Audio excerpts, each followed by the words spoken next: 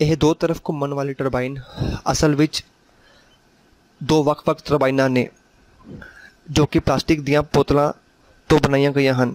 Plastic ਦੀ ਬੋਤਲ ਵਿੱਚ 8 ਪੱਤੀਆਂ ਕੱਟੋ ਤੇ ਹਰ ਇੱਕ ਪੱਟੀ ਦੇ ਸਿਰੇ ਤੇ ਪੀਲੇ ਰੰਗ ਦੀ ਟੇਪ ਚਿਪਕਾਓ।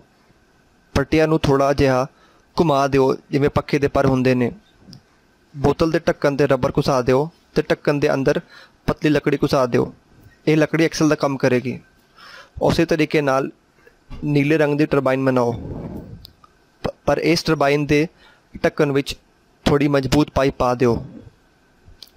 ਇਸ ਪਾਈਪ ਦਾ ਡਾਇਆਮੀਟਰ ਇੰਨਾ ਵੱਡਾ ਹੋਵੇ ਕਿ ਇਸ ਵਿੱਚ ਪੀਲੀ ਟਰਬਾਈਨ ਦੀ ਪਤਲੀ ਲੱਕੜੀ ਆਰਾਮ ਨਾਲ ਘੁੰਮ ਸਕੇ। ਹੁਣ ਪੀਲੀ ਟਰਬਾਈਨ ਨੂੰ ਨੀਲੀ ਟਰਬਾਈਨ ਦੇ ਨਾਲ ਜੋੜ ਦਿਓ।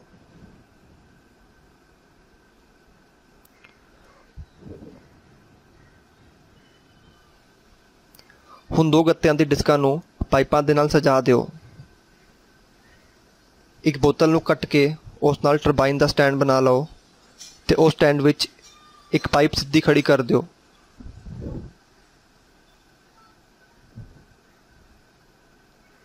ਇਸ ਤਰ੍ਹਾਂ ਦੋ ਤਰਫ ਘੁੰਮਣ ਵਾਲਾ ਟਰਬਾਈਨ ਬਣ ਕੇ ਤਿਆਰ ਹੋ ਜਾਏਗਾ। ਇਸ ਟਰਬਾਈਨ ਨੂੰ ਪੱਕੇ ਥੱਲੇ ਰੱਖੋ। ਤੇ ਇਸ ਦੇ ਘੁੰਮਣ ਦਾ ਮਜ਼ਾ ਲਓ।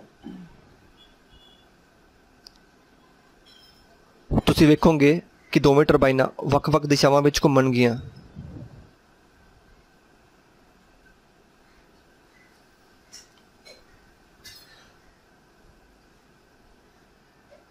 ਤੇ ਨੀਲੀ ਟਰਬਾਈਨ ਨੂੰ ਫੜਨ ਦੇ ਨਾਲ ਸਿਰਫ ਪੀਲੀ ਟਰਬਾਈਨ ਹੀ ਘੁੰਮਦੀ ਨਜ਼ਰ ਆਏਗੀ।